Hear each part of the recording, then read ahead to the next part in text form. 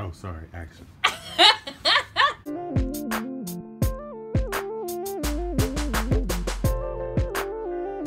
Good evening, folks. Welcome to the Champagne Spot with me, Miss Champagne B. And today we're going to focus on the basics of wine tasting. So again, we're all new to this journey. I don't know a lot of the sommeliers out there, but I will share with you the things that I have read, I have learned, and I have put into place. So first, you want to start off with a clean glass. You want to make sure that your glass is completely clean, free of any type of smells, debris, anything that'll throw off the taste of the wine. Another thing, you hear that?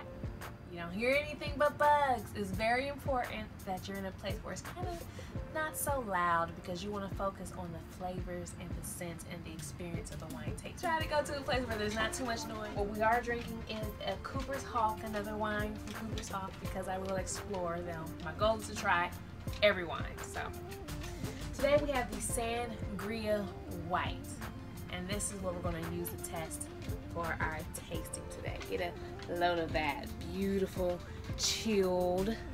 You want to make sure that your wine has a nice chill to it. You don't want to make sure that it's too cold that you'll miss all the notes and the flavors. Um, in the event that it is too cold, you can actually hold your glass in the palm of your hand to kind of warm it up a little bit, to kind of release the smells and the aroma. Um, drinking wine is about the experience, the, the whole entire experience. So you want to look at it, you want to sniff it, you want to taste it. You also want to think about when you're tasting it, some of the flavors that you might experience. What type of vegetable you taste. Yeah, people do put vegetables in wine. I don't know why they, they just do it. We'll learn later. Um, the fruits. If there's if there's a scent of flowers, you'll you'll hear that, or you'll I'm sorry, you'll smell that. Um, and you want to make sure that you have a complete wine, something full bodied and just like like a a dance of of magical fairies just running around on your tongue. That's what I imagine a good wine tastes.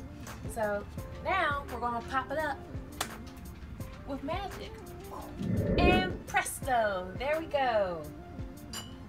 So first, we want to take it, and remember, we want to check all the sights or all the senses of wine tasting. Sight, smell, and taste. So first, we're only going to put about, fill up your glass one third. People feel the need to fill all the way to the top, and you don't do that. That's not how you taste things. That's how you get drunk, baby. And I'm here for it. But right now, we're going to taste. So you want to swish it around and this is how you can looking at the legs of it, what, what kind of density of alcohol and the sugar content. The sweeter it is, more sugar add is added. Um, I'm still learning about legs though. In theory, these legs are supposed to tell you something. I don't know yet, but I will put it in my um, blog to tell you more about what wine legs are. So you want to look at it, you want to look at the color, make sure there isn't any strict streaks or you know, discoloration, make sure it's all the way through, make sure it's clear.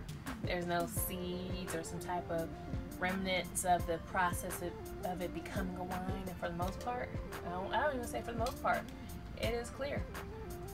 And then you want to smell it. You want to try to smell some of the um, notes in it. Um, you don't want to put your nose in your glass because it's gross and a boogie might fall into your drink and then you're a boogie drinker and everybody's like, look at you. You, you don't want that but you just hover over it like a helicopter.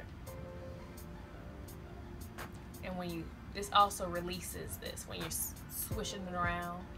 Some people can do it really well, but you know, we're, we're noobs, so we're just gonna give it a little bit. But this allows it to aerate a bit more as well to release more of that fragrance those flavors.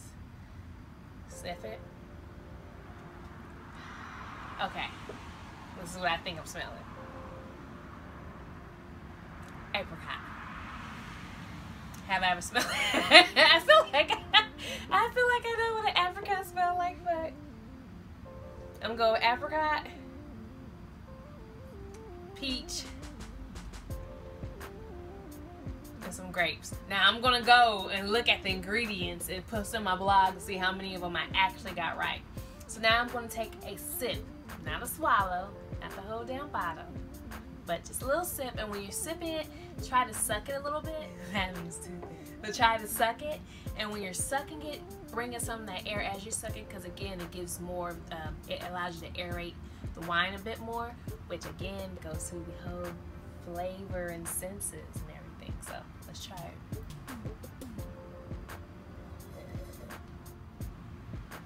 I feel like grapes and apricot. That's what I'm gonna go with. So you want to switch it around your tongue, and as you know, your tongue has like four spots. Was it salty, sweet, sour? Camera guy, I know you know this one. Salty, sweet, sour. that might be it, but your tongue has four different tastes on two different sections. So like your sour is in the front, your is on the side, your sweet is on the back. So each part of your tongue has a different function. So when you take the wine, you swish it all over your tongue and trying to call out those different sweet or different tastes. So for this, this is a sweet wine, maybe even a dessert wine. I don't know. I'm still learning which dessert and what's not. I might I might have to take another sip for research purposes. That's that. That's the apricot. I'm not gonna know for sure until I finish the whole bottle. So I'm gonna go ahead, take this with me and finish it. What you're going to do is subscribe, like, and check out my blog for more tips on wine tasting. Again, this is Miss Champagne B, and you're at the Champagne Spot. See ya.